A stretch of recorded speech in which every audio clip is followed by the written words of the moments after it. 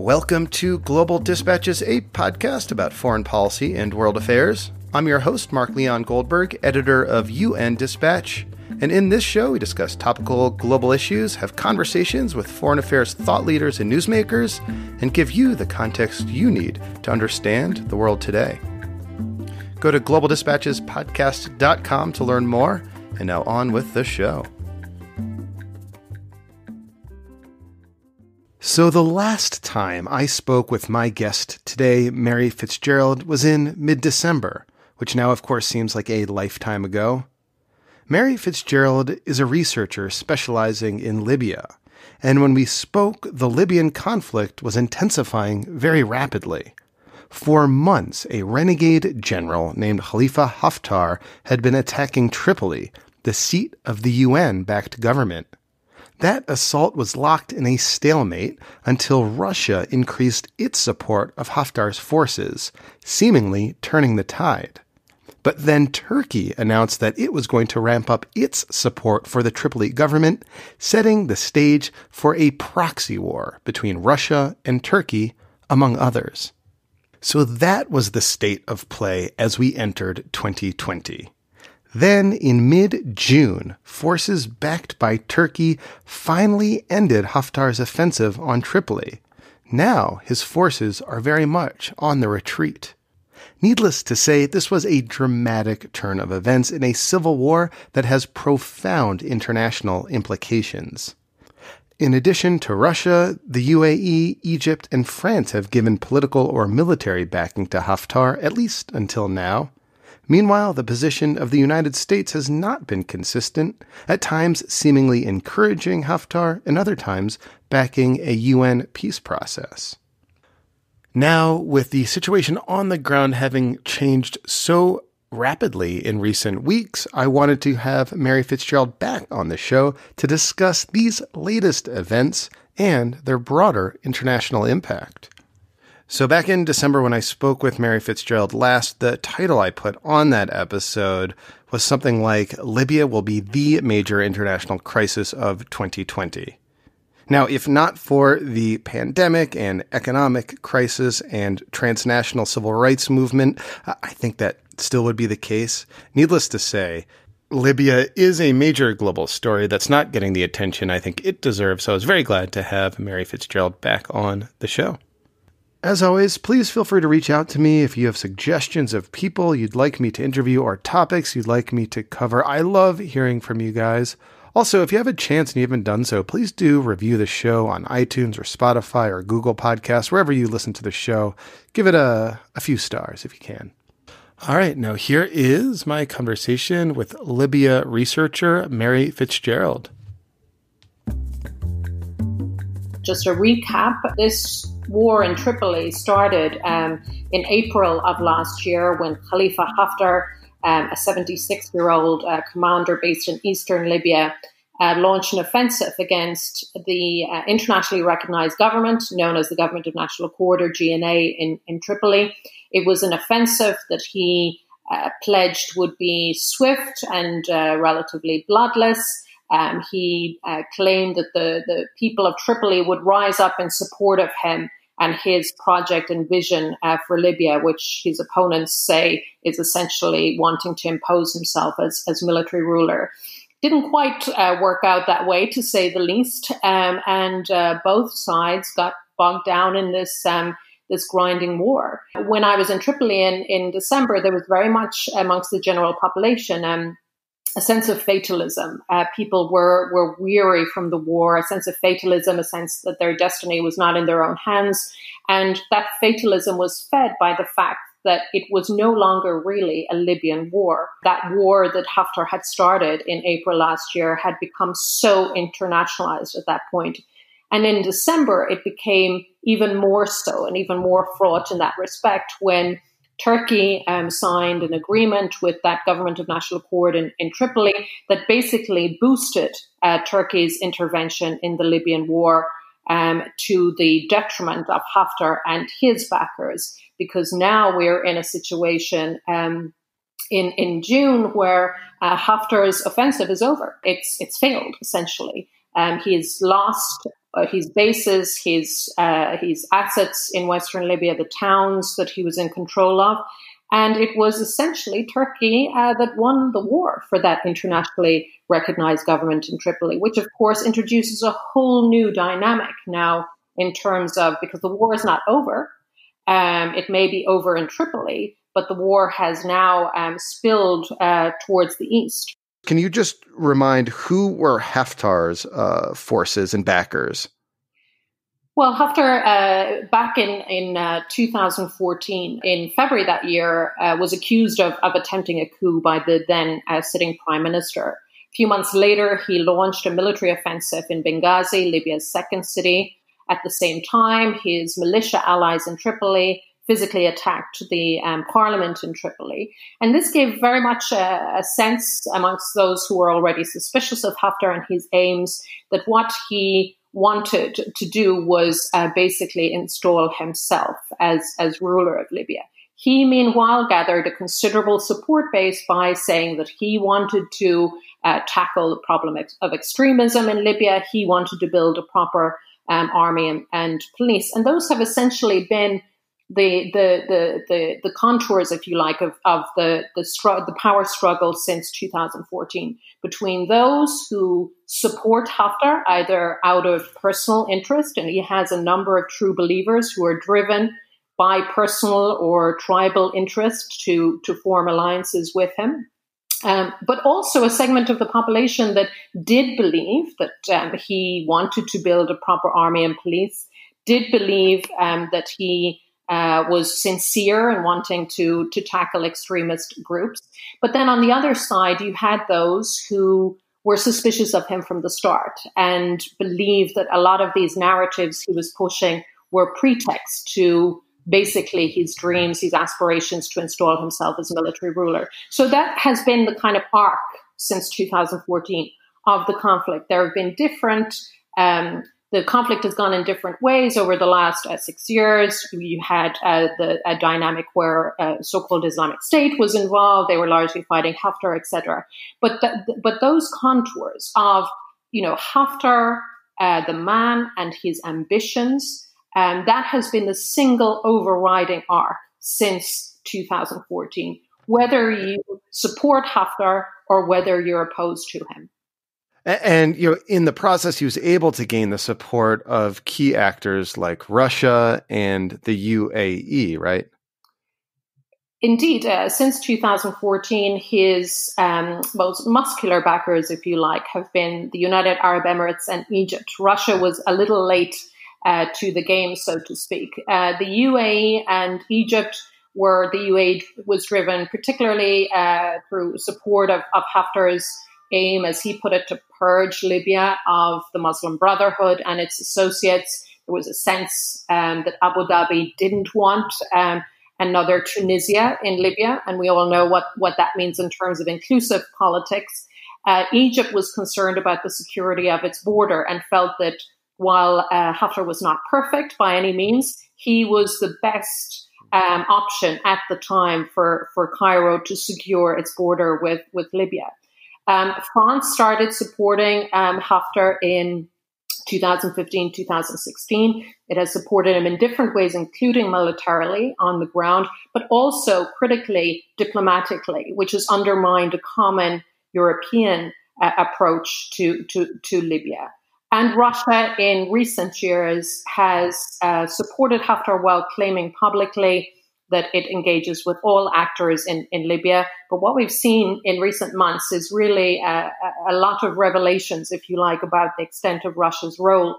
When Haftar's forces were um, retreated from the, the Tripoli front lines, uh, with them uh, were uh, many, many um, Russian mercenaries, uh, thousands of Russian mercenaries estimated to be in Libya and fighting for, for Haftar. This mix of you know, Haftar fighting for Tripoli, backed by a number of powerful foreign governments, versus the GNA, the Government of National Accord, backed by other powerful governments. You know, was the context in which we spoke in, in 2019 in December. Um, how had the fighting evolved over the last six months? And how was it that uh, just in early June, Haftar's forces had to flee from Tripoli?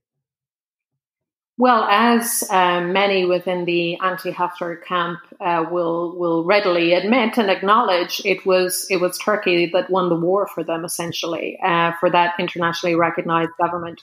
When Turkey started weighing in in December last year, it was in you know quite um, a robust way, um, and Turkey did not hide its intervention. Uh, Erdogan was regularly talking about uh, the intervention and the reasons, as he put it, uh, why uh, Turkey was was intervening in, in Libya.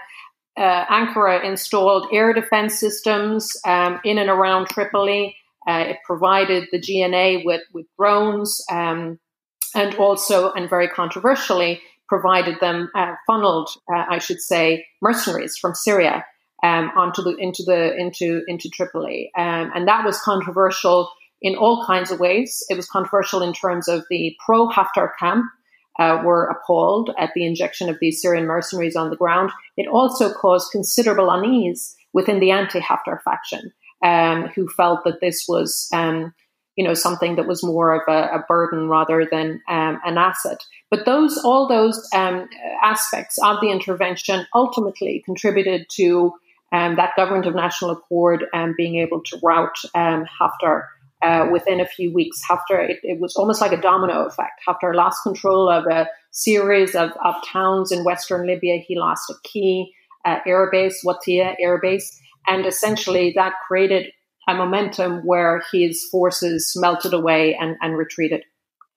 And so, where do things stand right now? We're speaking in the middle of June. Presumably, he uh, Haftar's forces are encamped somewhere, um, and presumably the GNA's forces are on the sort of attack and on the move, trying to defeat him. So, what's the current situation?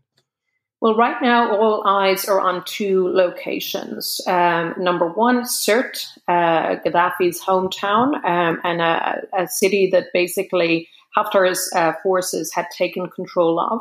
Um, Sirte is basically one of the locations that the anti-Haftar forces have um, in in the cross uh, because if they manage to take Sirte, and then they then they can push further east into the so-called Oil Crescent, which is currently controlled by Haftar's forces. And this is one of Haftar's selling points internationally, or it has been this idea that Haftar's forces are in control in areas of Libya where most of Libya's oil um, is, is concentrated. Uh, that has been one of his um, assets, if you like. Um, and the other location that's uh, very much uh, of focus right now is uh, Jufra, uh, which is in central Libya. Jufra is a, is a very strategic airbase that Haftar has used to, to great effect. Um, it's been in many ways his main um, air base in terms of the the Tripoli offensive. And excuse me, um, it's it, Jufra is, is where AFRICOM recently talked about Jufra in that it announced in a statement that 14 Russian fighter planes had recently been transferred there. Um, and raising the alarm about the, the growing uh, Russian presence on the ground. Um, AFRICOM, in- the U.S. African Command. Yes, indeed. Hmm. So, what diplomatically is a state of play? I mean, one of the key kind of themes that keeps emerging is the extent to which foreign actors, principally, you know, the ones that you've named, Turkey, Russia, UAE, France, Qatar, um, where does the diplomatic momentum stand right now? Is there any diplomatic momentum to try to resolve this in a way that doesn't uh, include a whole lot of bloodshed on the ground? Well, everybody's talking about what may transpire now between um, Turkey and Russia. So, Turkey and Russia seem to be the new, um, if you like, international kingmakers of, of Libya. Um, Turkey feels it's on a roll. It has uh, managed to rout Haftar in support of, of the, the government of national accord. Um, Russia is still there and building up its its presence um, on on Haftar's side. So there's a sense that um, both Ankara and Moscow realize that they are the most prominent uh, external players in, in Libya right now. And um, there's a sense that they both carve out spheres of, of, of influence for themselves in the country um, in, in the aftermath. But of course, um, there's no guarantee that that's going to be a smooth process. Just a few days ago, um, there were supposed to be talks between uh, Turkey and, and Russia uh, focusing on Libya, and in the end, uh, it wasn't quite explain why those those talks didn't happen. So you know there have been warnings, um, and the French uh, foreign minister uh, a few weeks ago warned of what he called the Syrianization um, of Libya. So there is a concern that if Turkey and Russia are not able to carve out those uh, spheres of, of influence within Libya for themselves, that we may see that Syrianization. There, but there's also a concern that if Turkey. Can, can I say, like, what, what do you mean by Syrianization? Or is this the idea that foreign actors will be controlling militias on the ground to a greater extent than they are today in Libya? Right, but the contours of that would be along the lines of Turkey's um, uh, Turkey's allies in Libya and Russia's allies in Libya, where it's been a kind a different dynamic in the past in, in Libya. So it would be more we would see a fragment, fragmentation on the ground, a testing of those Libyan alliances on the ground, but with Turkey and Russia as the main um, main sponsors. But there's also a concern um, regarding a, the scenario where Turkey and Russia would carve out spheres of influence for themselves. So what would a Libya look what would Libya look like if that was if that actually happened? Um, would we see a de facto partition of Libya? So we would because Haftar and his camp are, are based in eastern Libya, would that mean that we would see some kind of um, Russian um, Emirati protectorate, if you like, emerge in eastern Libya, while Turkey um, builds on its influence in Western Libya. And there have been reports in recent days about Turkey in talks with the GNA about using um, some air bases in Western Libya. And there's been a lot of speculation about that in terms of, you know, what is payback for, for Turkey here in, uh, in Libya now that it contributed so much uh, to to pushing Haftar back. Um, there was a sense when Turkey weighed in in December that this was very much an opportunistic uh, move by by Turkey um, to see how it could expand um, its influence on the ground in, in Libya. So neither scenario we're faced with now is. Um, you know, particularly positive one in the eyes of, of many Libyans. And, you know, I think one very important point to make here is that the conversation on Libya has become so uh, geopolitical um, in, in recent weeks and recent months that it's often overlooked. Um, the fact that the war um, Haftar waged on Tripoli for over a year was not a popular war. Um, this was a war that um, was not welcomed. I mean, the people of Tripoli did not rise up for, for Haftar as he said uh, they would. And then, as the civilian casualties um, uh, increased, uh, people got increasingly anger, angry. So this is why, at this point, you know, Haftar has uh, frustrated his backers. He's disappointed his backers. He's 76 years old. Uh, clearly, his project, if you like, um, has not gained the currency and momentum in Libya as he and his backers would have liked. So there's a lot of speculation recently that his backers are looking to possibly move him aside, quietly retire him, and find somebody else to to replace him in Libya. But quite frankly, any any any Libya specialist looking at uh, the landscape in Libya right now, particularly Haftar's uh, camp, there is no obvious figure there um, who who could replace him. Your point about the sort of geopoliticalization of this conflict, the internationalization of this conflict, um, in it sort of makes me wonder, you know, to the extent that there is some sort of de facto partition of the country along the lines of what you described, um, to what extent does that ignore like the localization of this conflict? So, for example, you know, the the GNA, the Government of National Accord, the UN-backed government, from what I can tell and from what we've discussed is really a collection of, of militias. And to what extent are they just a collection of militias under this umbrella because they are fighting Haftar? And if Haftar is out of the picture, do they start fighting each other? Do they scramble themselves for resources? What happens then? Well, a lot of the work, and it was painstaking work that had been done in, in recent years in terms of tackling um, that militia problem, if you like, in, in Western Libya. Um, a lot of that was upended when Haftar launched this offensive in April last year. And for someone who, you know, many Libyans, many of his opponents would say that Haftar is essentially the commander of, of a collection of militias. They don't see his forces as the army he tries to present them as. But the militia dynamic in, in Tripoli um, was in, in many ways strengthened and consolidated by the by the offensive that Haftar launched uh, on Tripoli. So, ironically, for someone who was telling his supporters that he wanted to tackle the militia um, dynamic in, in Tripoli, he ended up arguably making them um, much stronger. So, you know, that means that the conversation in terms of demobilizing militias, tackling the militia issue, um, has has to change completely. It's a different conversation now than the one people were having over a year ago.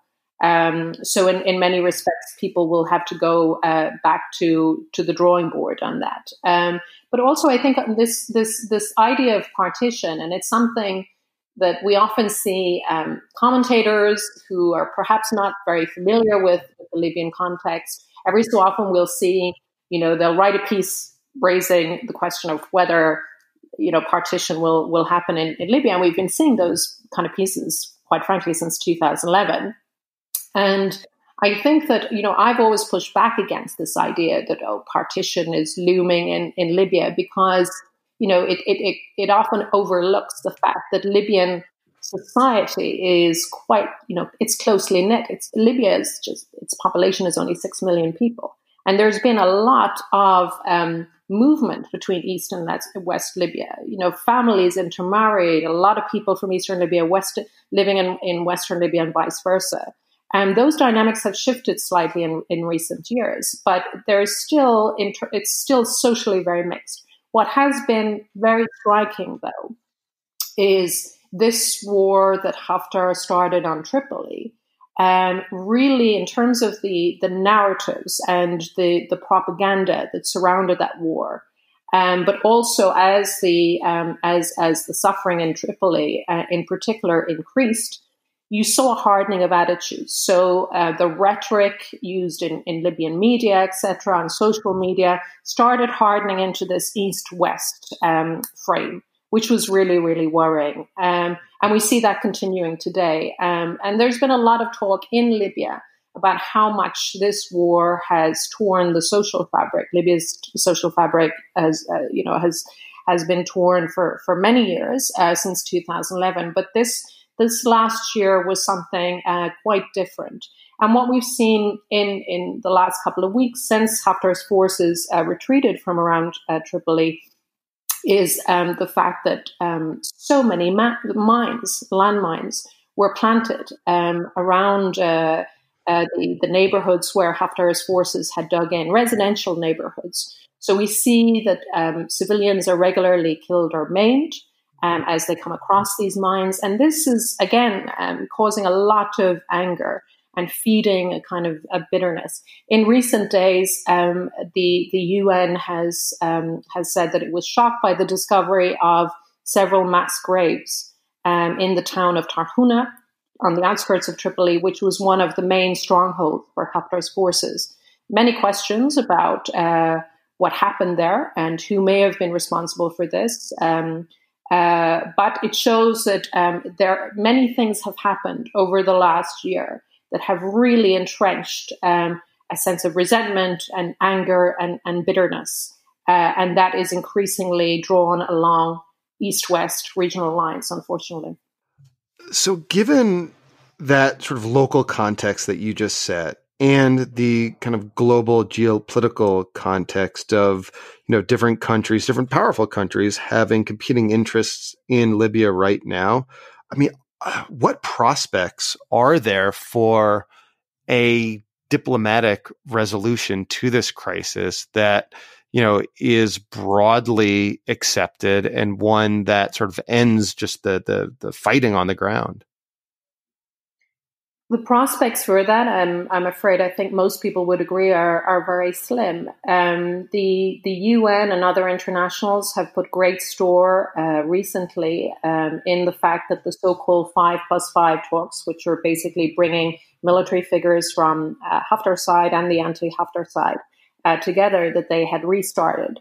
Um, not many Libyans have any great kind of confidence um, in, in those talks, uh, to be quite frank uh, you also have a situation where the uh, government of national accord on its in, internally, but also within its support base, you have people uh, divided between those who feel that um, what the focus now should be on removing Haftar uh, from the scene so he will not play any role in, in future. And they have, you know, many um, ideas in terms of how that should happen, including pushing further into eastern Libya, his stronghold in, in eastern Libya. There are those who feel that um, some kind of negotiated settlement should happen, but um, they feel that uh, Haftar needs to be weakened further before they're in a better place uh, for that negotiated settlement um, to to happen. It was interesting um, how within a short, very shortly after Haftar's forces retreated from the Tripoli front lines, um, uh, Egypt convened a meeting in Cairo. Uh, Haftar was there, and Aguila Saleh, the head of the, the parliament based in eastern Libya. It was essentially an attempt to to salvage Haftar and his supporters from the disastrous um, uh, for them uh, developments in, in Tripoli. But again, there was a lot of skepticism about that in Western Libya um, and showed how wide the gap is here in terms of reaching um, a diplomatic uh, settlement here in terms of bringing the two sides together. You have a, one side now that feels flush with what it sees as, as victory, um, and you have another side that has um, remains, uh, you know, uh, retains powerful external backers. Um, so there is very, very little space right now, I think, for a negotiated settlement, unless it comes through that uh, Turkey, that idea of a Turkey uh, Russia grand bargain um, I mentioned earlier. Turkey and Russia tried to um, put together this grand bargain, if you like, earlier this year, at the beginning of the year but it fell apart when Haftar essentially walked out on it and, and refused to have anything to do with it.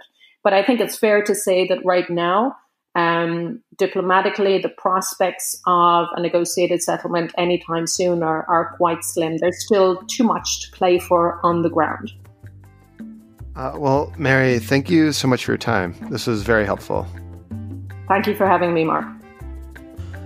All right. Thank you all for listening. Thank you to Mary Fitzgerald. That was helpful. And as I said at the outset, uh, if you have suggestions of people I should interview or topics I should cover, please reach out to me. You can also just reach out to me with whatever is on your mind. I love hearing from you, I love checking in with you. So uh, feel free to send me an email. Let me know what is going on in your world. Thank you. Bye.